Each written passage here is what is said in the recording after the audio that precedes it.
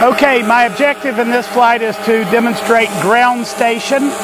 Uh, you'll see by a screenshot that I'm going to post that uh, it's going to go um, to a uh, football field that is um, about 1,200 feet away. Uh, I'll try to uh, point the camera, make some adjustments while I'm there, and uh, at that point, uh, it'll come back here lower.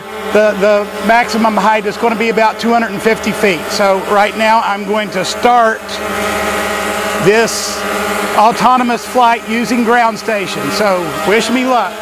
Goodbye, little drone. I hope you come back. And I hope it gets some uh, altitude here too.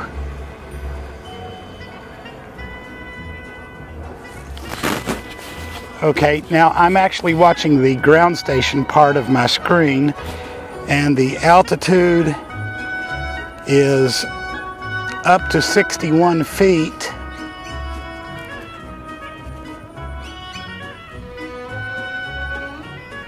Eighty-six feet, so it's continuing to build as it goes. It's not as if it climbs to 250 feet and then arrives uh, it is actually climbing as it goes, and I'm going to assume that uh, the program's objective will be to be at 250 feet at least by the time that it's there. As you can see, it's um, uh, allaying some of my fears as we speak. It's well above any obstacles such as power lines and so forth. So we'll see if my fat, fat fingers, fat fingers, uh, was able to pinpoint the uh, middle point of this field. It's showing right now that it is uh, 1,176 feet away, 1,188 feet away. I still have visual. I am using the Wi-Fi booster. And there you can see I'm right over this high school football field and uh, now it's going to make its way back to me and if it follows the same protocol as when it left uh, it's going to reduce its altitude as it comes to me. Now I may have had that programmed so that the uh, uh, altitude will not drop until it gets to uh, another waypoint closer to me uh, as uh, it is now 827 feet away from me and it's still at 250 feet. So I think that I had it programmed at 250 feet until it got almost home. I think that's right. So I'll be able to review this after, uh, I may be able to review it now. Let's see.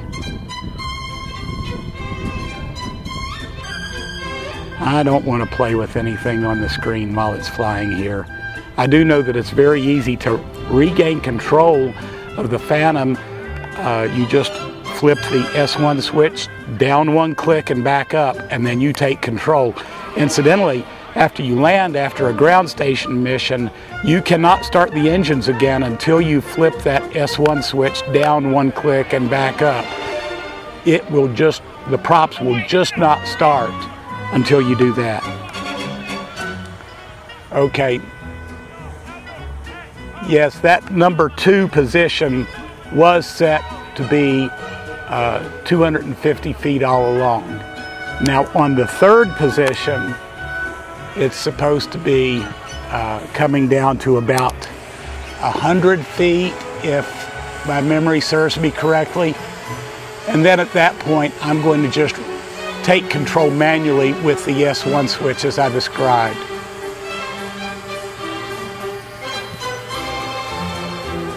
Okay, it's dropped to 100 feet, call it 98 feet exactly. And now it's back at its home position, which is directly overhead for me. So I am, now right now I have no control over the Phantom. So I'm going to click down once and back up. And now, as you can see, I'm able to turn the uh, Phantom and I have control of it once again. So I'm going to bring it right down right here in front of me. I'm going to switch this screen so that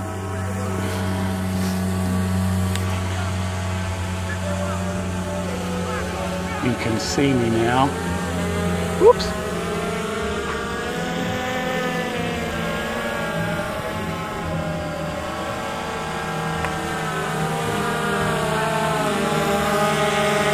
And here I am back. Uh, as you can see, I, I, have control over the uh, Phantom.